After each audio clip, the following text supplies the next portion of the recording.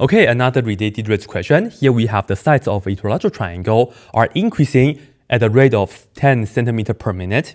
And we're to find out at what rate is the area increasing when the sides are 30 centimeters long. Well, two pictures, of course, right? So the first picture is my original equilateral triangle. And we know that all the sides will be the same and the sides are changing. So let me put on X for everybody like this. You can put on S, but X is easier to write. Anyway, the next picture is going to be a bigger equilateral triangle like this because all the sides are changing, right? So as you can see, I will have to label them with variables like this. And now let's put down what we know. Well, it says the sides are changing at this rate and according to our picture, that will be dx dt equals 10, like this. That's very nice. And what do we want to know then? Well, we want to find out how fast is the area changing. So that's just dA dt. And of course, A is the area of the triangle. And more particularly, it says when the sides are 30 centimeters long. So I will have to say when x equals 30. So this, again, at the instant. This part is really important as well.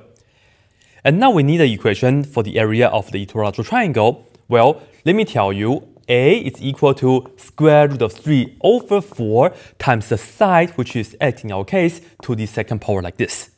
And why is this true? Well, let's do a quick proof right here. When we have a equilateral triangle, all the sides are the same. And I will just make the vertical cut like this. And as we can see, this portion is going to be x over 2, like this, right? And now you have x over 2, x. So I need to figure this out. To figure this out, I will just take the square root and then I will just do the hypotenuse, which is this, which is going to give me x and I have to square that and then I will have to minus this side square, which I will just put that down in parentheses, x over 2 and then square that. And of course, we can work this out. This is like saying x squared minus x squared over 4. So it's like 1 minus 1 over 4, which is 3 over 4. And don't forget the x squared term. So we have 3 over 4 x squared. And this is still inside of a square root. Do the square root.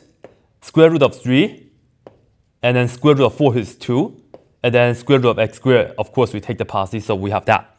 Now, the area, of course, we need to get 1 half times base times height.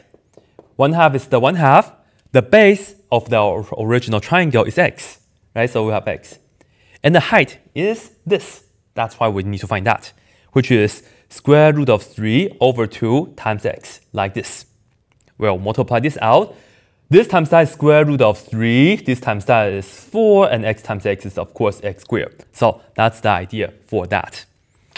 Okay, with this being done, let me just write this down. a equals square root of 3 over 4 x squared like this. Of course, do our derivative so we can get our rate equation. The left-hand side is exactly dA dt, and that's exactly what we're looking for. For the right-hand side, first of all, this is just a constant multiple. I will just look at x to a second power, bring the 2 to the front and minus 1. Square root of 3 over 4 times 2 is just going to be square root of 3 over 2, right? And then we have the x to the first power, and don't forget the dx dt, like this. And now we just have to throw in the numbers. We can see that square root of 3 over 2 and the x value is 30 and dx dt is 10. So we have all this.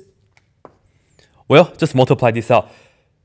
2 and 30 you can reduce, which is 15, and you get multiplied by 10. So altogether, we get 150, and we have the square root of 3, like this. And its rate for the area. So the unit is centimeter square per minute.